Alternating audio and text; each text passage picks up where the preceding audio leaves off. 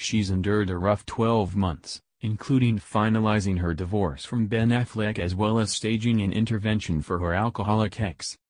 But Jennifer Garner cried tears of joy on Tuesday, when the 46-year-old actress caught up with her old Alias co-star Carl Lumbly in Brentwood.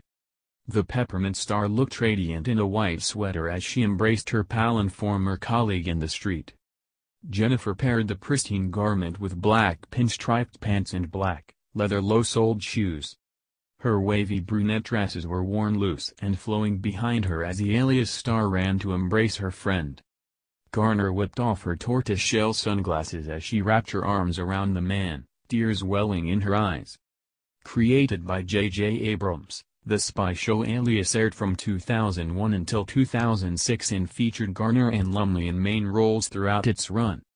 It would appear Garner has been fairly nostalgic about her Alias days lately, as she reportedly had dinner over the weekend with Bradley Cooper and Irina Shayk.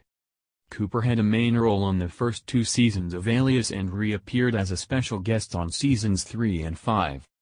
Shayk and Cooper brought their one-year-old daughter Lea De Seine and his mother Gloria Campano to dinner with Garner, People reported.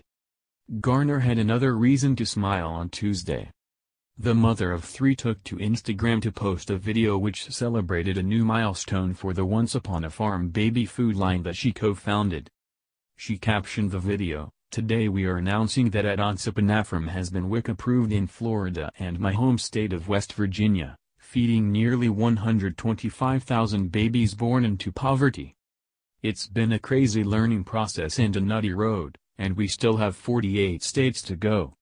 But it's a huge step and something that makes me very happy and proud.